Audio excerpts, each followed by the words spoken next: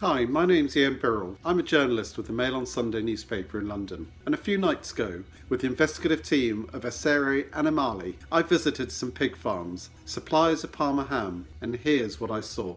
So here I'm in a pen with 21 piglets, and on the floor are corpses. There's three dead ones here, the others are climbing on top of them. There's clearly some have been eating them.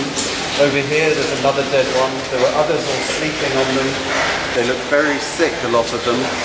And you can see what the bigger ones should be, the healthier ones. There are some that are in here that are bigger.